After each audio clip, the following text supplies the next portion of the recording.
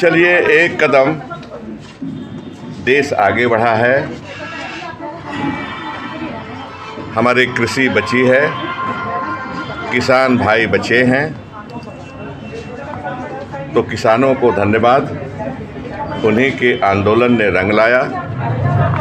कांग्रेस का शुरू से समर्थन रहा। सोनिया जी का, राहुल जी का पूर्ण समर्थन रहा। किसानों के आंदोलन हम भी झारखंड में भी आंदोलन को आगे बढ़ाए।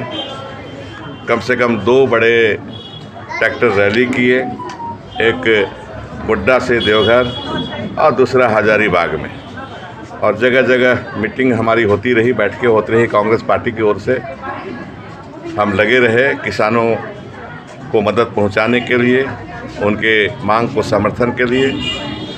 हाँ लेकिन तीनों कानून तो वापस हो रहे हैं, लेकिन मुख्य मांग उनकी रही मिनिमम सपोर्ट प्राइस की। उस पर अभी बाकी है काम। मेरा ख्याल है कि वर्तमान सरकार को, केंद्र सरकार को इस मांग को मान लेना चाहिए, क्योंकि वाजिब है।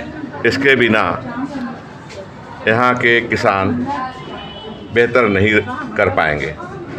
जो स्थिति है बाज़ार की देश के बाज़ार की कृषि में लागत बढ़ती चली जा रही है।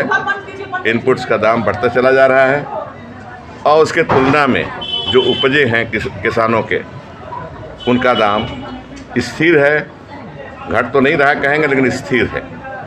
तो ऐसी स्थिति में एमएसपी का आना ज़रूरी है कानूनी रूप देना ज़रूरी है ताकि किसानों को दिक्कत नहीं हो आर्थिक कठिनाई नहीं हो।